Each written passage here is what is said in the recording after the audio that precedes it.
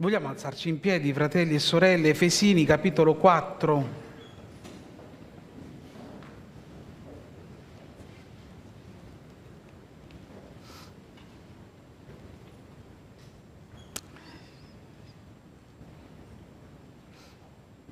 Io dunque, il prigioniero del Signore, vi esorto a comportarvi in modo degno della vocazione che vi è stata rivolta, con ogni umiltà e mansuetudine, con pazienza, sopportandovi gli uni gli altri con amore, sforzandovi di conservare l'unità dello Spirito con il vincolo della pace.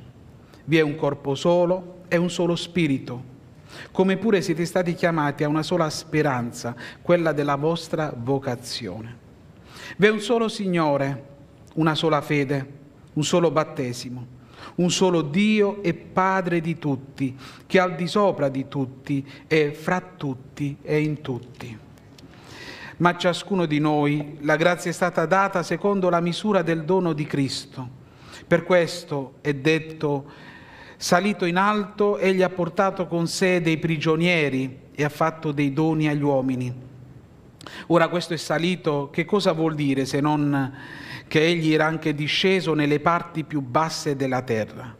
Colui che è disceso è lo stesso che è salito al di sopra di tutti i cieli affinché riempisse ogni cosa è Lui, cioè Cristo, che ha dato ad alcuni come apostoli, altri come profeti, altri come evangelisti, altri come pastori e dottori, per il perfezionamento dei santi in vista dell'opera del ministero e dell'edificazione del corpo di Cristo fino a che tutti giungiamo all'unità della fede e della piena conoscenza del Figlio di Dio, allo stato di uomini fatti all'altezza della statura perfetta di Cristo, affinché non siamo più come bambini sballottati e portati qua e là da ogni vento di dottrina per la frode degli uomini, per l'astuzia loro nelle arti seduttrici dell'errore ma avendo la verità nell'amore, cresciamo in ogni cosa verso colui che è il capo, cioè Cristo.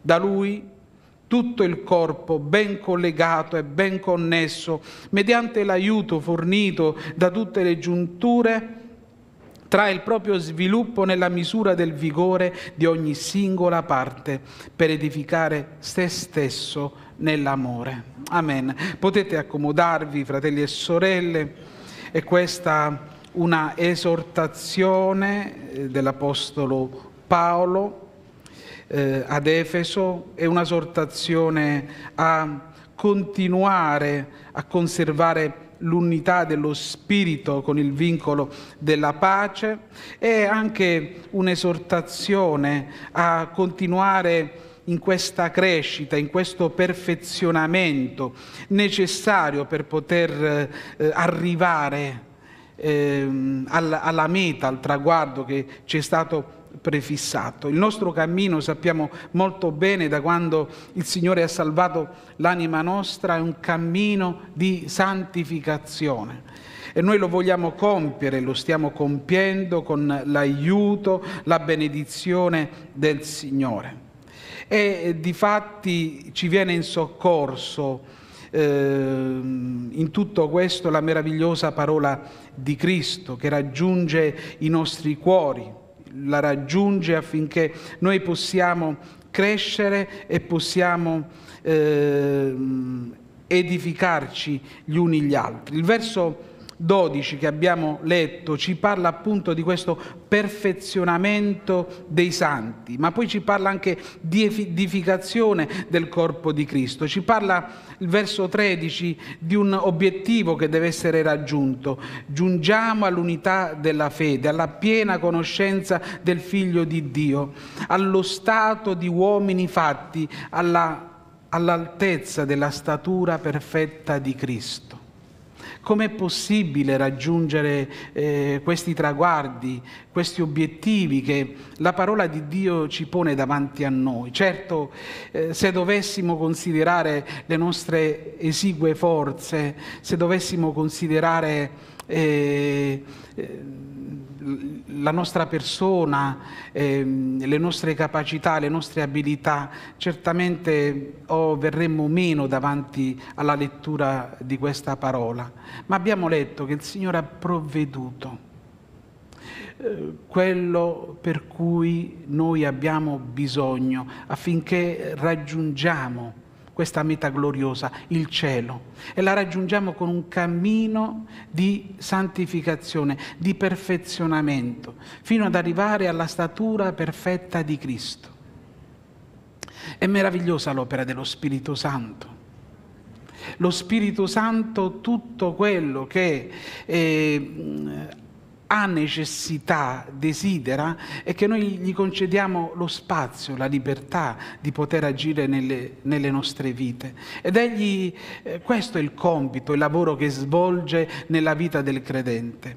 Guai se eh, ci fermiamo a un'esperienza eh, forse datata eh, decine di anni fa, l'esperienza in cui abbiamo incontrato Cristo nella nostra vita e poi siamo rimasti in quella condizione. La parola di Dio ci invita appunto a crescere, ma seguendo la verità nell'amore cresciamo in ogni cosa verso colui che è il capo, cioè Cristo Gesù. Credo che ogni genitore che ha un bambino e che soprattutto eh, nella fase iniziale, è vero, eh, diversi di noi sono genitori, quindi mi comprendono quello che dico.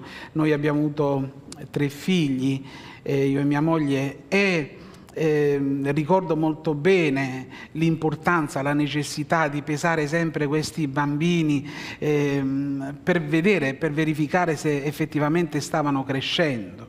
È importantissimo che i bambini crescano e crescano eh, secondo un iter che è prefissato, altrimenti eh, lì si possono insediare, insinuare dei gravi problemi, dei grossi problemi. E gloria a Dio, perché il Signore fa ogni cosa in un modo straordinario. Il Signore eh, ci ha tolti eh, da questo regno di tenebre, ci ha introdotti nel, nel regno del suo amato Figlio e non ci ha lasciati a noi stessi. Egli continua a prendersi cura di noi e vuole, desidera che noi possiamo crescere alla statura perfetta di Cristo. Quello è il nostro obiettivo, è l'obiettivo che Dio si è prefissato per ciascuno di noi.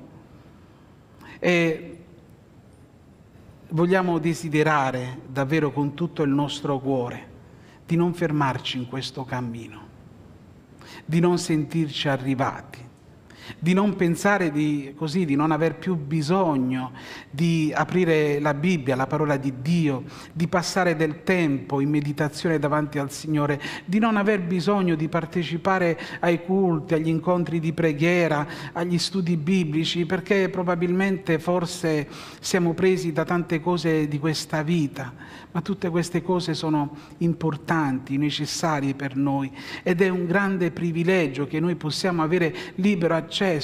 Ehm, ehm, noi diamo per scontate tante cose e abbiamo una libertà che eh, tempi addietro i nostri fratelli che ci hanno preceduti eh, se la potevano sognare questa libertà. E ci sono dei posti, diceva anche la sorella Bianchina, dove fino a pochissimi anni fa, ma ancora oggi, davvero è quasi impossibile poter eh, avere un luogo, riunirsi liberamente. Eh, ci sono dei divieti, ci sono delle persecuzioni e a volte a causa di negligenza, di superficialità o forse di motivazioni che non dovrebbero esserci. Eh, veniamo meno in questo impegno, in questa chiamata a responsabilità. E questo è un incoraggiamento per noi tutti, a partire da me stesso. È importante, fratelli e sorelle, che noi cresciamo, perché siamo chiamati ad essere di edificazione gli uni per gli altri. E per poter crescere, natura stessa ci insegna che è necessario prendere il cibo. E se non leggiamo la parola di Dio, se trascuriamo questo luogo benedetto, se non ci accostiamo a questa fonte, come possiamo pensare di crescere? Il Signore provvede per noi cibo succulento che viene dalla sua parola, cibo adatto affinché noi possiamo davvero crescere alla presenza di Dio. Eh, leggo in Gioele capitolo 2 verso 26. È una promessa che il Signore fa al profeta. Mangerete a sazietà e loderete il nome del Signore, vostro Dio, che avrà operato per voi meraviglie e il mio popolo non sarà mai più coperto di vergogne. Il Signore è colui che ci nutre dal punto di vista spirituale attraverso la sua parola, perché questo obiettivo è stato fissato per noi, affinché noi raggiungiamo questa perfetta statura di Cristo. E ancora voglio leggere questo verso, Isaia capitolo 55, verso 2. Perché spendete denaro per ciò che non è pane e il frutto delle vostre fatiche per ciò che non sazia? Ascoltatemi attentamente e mangerete ciò che è buono, gusterete cibi succulenti. Perché trascurare la mensa che Dio imbandisce? Perché trascurare questa preziosa parola che serve, è utile, anzi è indispensabile per la nostra crescita e maturazione spirituale? Eh, vogliamo sentire ancora di più questo bisogno. Noi leggiamo alcune storie nella parola di Dio e sicuramente a riguardo eh, di quello che sto dicendo, credo che è ben calzante eh, la storia eh, di Nemia e di come quel popolo si mise al lavoro insieme. Si mise al lavoro perché avevano uno scopo ben preciso, uno scopo comune, quello di edificare edificare ehm, tutto ciò che era stato distrutto dall'avversario, dal nemico. C'erano le mura di Gerusalemme da edificare, c'era da edificare l'altare, tra l'altro la prima delle cose che fu edificata, c'era da edificare il Tempio, c'era da ricostruire tutto. E vi leggo questi versi che possano darci l'idea di come è importante che ognuno di noi si senta responsabile sia per se stesso, ma anche poi in modo comunitario. Nemia 4, 15, 18 e 23. Quando i nostri nemici si, accorse, si accorsero che eravamo al corrente dei loro piani, Dio rese vano il loro progetto e noi tutti tornammo alle mura, ognuno al suo lavoro. E ognuno dei costruttori, verso 18, durante il lavoro portava la spada cinta ai fianchi, il trombettiere stava accanto a me. Verso 23, io poi, i miei fratelli, i miei giovani e gli uomini di guardia che mi seguivano, non ci spogliavamo, ognuno teneva le armi a portata di mano. Credo che eh, in senso spirituale questa attitudine dovrebbe appartenerci, dovremmo farla nostra. Dio benedisse tanto l'epoca di Nemia, quella generazione, riuscirono a ricostruire anche avendo forze davvero misere, anche se eh, non ebbero eh, non avevano le risorse per poter costruire tutta quell'opera, anche se purtroppo insediati in un modo veemente, forte da quei nemici che volevano eh, distrarli, che volevano scoraggiarli. Abbiamo un nemico che vuole scoraggiare le anime nostre, ma abbiamo letto nella parola del Signore che facciamo parte di un corpo.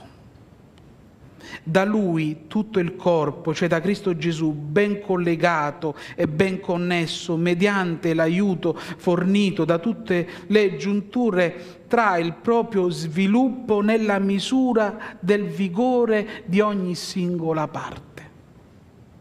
Dovremmo qui entrare in un eh, discorso un po' scientifico e considerare, ma noi da quali parti è composto il nostro corpo? Siamo composti da tante piccole particelle e ognuna opera singolarmente, ognuna con la sua forza, mettendo a disposizione tutto se stessi per il corpo. Ciascun membro cerca di collaborare con tutto il resto del corpo. Immaginate voi se, se solo qualche membra del nostro corpo non collaborasse e allora inizierebbero i problemi. Se l'occhio non facesse la sua parte, se il piede non volesse saperne niente di svolgere la sua funzione, se il cervello perdesse eh, la possibilità di usare qualche arto, qualche anche eh, organo interno, cosa ne sarebbe di noi? Tutto il corpo ne soffrirebbe e ne patirebbe. La necessità della crescita, la necessità dello sviluppo, la necessità che ogni singola parte contribuisca al bene comune. È un invito questo, fratelli e sorelle, quello di questa mattina, ad assumerci ognuno, chi, chi nel ruolo, nel compito, eh, secondo la misura Dio, di fede che Dio ha assegnato a ciascuno di noi. Il Signore ci chiama non a fermarci, non a essere superficiali, non a rassegnarci davanti alle difficoltà, ai problemi, a continuare a guardare il nostro Signore Cristo Gesù. Fissiamo il nostro sguardo su di Lui, fratelli e sorelle. Se lo distogliamo da Cristo, saremo prontamente scoraggiati, entreremo in confusione. Quella è la statura perfetta. Dio si vuole usare di ciascuno di noi e Dio vuole che la nostra vita possa essere di sostegno gli uni per gli altri, di edificazione gli uni per gli altri. Sapete, al tempo di, eh, di Salomone, quando si costruì quel tempio meraviglioso, glorioso, fu data una disposizione che potrebbe sembrare strana, ma credo che ci serva a noi questa mattina eh, per qualche opportuna riflessione. Sapete, quelle pietre che dovevano essere messe una a fianco all'altra per poter edificare il Tempio, per poter costruire eh, questo, eh, questo, Tempio, appunto, eh, veniva lavorata non all'interno del Tempio, ma veniva lavorata nella cava, perché nel Tempio non ci doveva essere nessun rumore. E allora queste pietre venivano ben, ben levigate, ben preparate eh, eh, nella cava, singolarmente. Poi venivano prese già pronte e venivano portate lì sul posto, nel Tempio. Non dovevano più metterci le mani su quelle pietre, ma dovevano solo essere prese e accantonate l'una a fianco all'altra per poter così innalzare il Tempio che Dio possa lavorare i nostri cuori. Non solo quando ci riuniamo nel nostro locale di culto, non solo quando ci incontriamo, fratelli e sorelle, ma nelle nostre case. Lasciamoci lavorare. Prendiamoci quel tempo necessario affinché quello scalpello, quel martello della parola di Dio possa lavorare il nostro cuore. La parola di Dio è come il martello che spezza il sasso è come un fuoco consumante. Che Dio ci dia grazia di poter essere trovati sempre pronti, come al tempo di Nemia, sia per costruire, ma anche per avere pronta la spada. Spiritualmente parlando, noi vogliamo essere non dei demolitori, ma degli edificatori, dei costruttori, affinché Dio, il capo della Chiesa, ricordiamoci, Cristo, il capo della Chiesa, ne possa trovare gloria e giovamento. Dio ci benedica, amen. Vogliamo alzarci in piedi, fratelli e sorelle. Gloria al nome tuo, Signore, alleluia. Gloria a te, Gesù. Benedetto il tuo nome, Signore. Gloria, gloria al tuo nome, Gesù. Dio è misericordioso, è buono, è pietoso. Dio è colui che si prende cura dell'anima nostra. Gloria al tuo nome Gesù, alleluia. Egli lavora i nostri cuori. L'opera dello Spirito è incessante, continuativa, 24 ore su 24. Gloria al tuo nome, Signore. Grazie, Signore. Grazie, Padre Celeste. Grazie, Dio d'amore. Uniscici, Signore d'una solamente, d'un solo spirito, in un'unica fede, Signore, in un unico sentimento, Signore, con il traguardo, l'obiettivo che tu hai posto davanti a noi, quello di ritrovarci nel cielo, Signore. Chi prima, chi dopo, Signore, ma questo è l'obiettivo, Signore, che tu hai messo nei nostri cuori. Alleluia. Gloria al tuo nome, Signore. Aiutaci, Signore a non scoraggiarci durante questo cammino. Aiutaci, Signore, gloria al tuo nome, alleluia. Gloria a te, Signore, benedetto il tuo nome, alleluia. Gloria a te, Signore. Gloria a te, Signore, alleluia. Benedici i nostri cuori, Signore.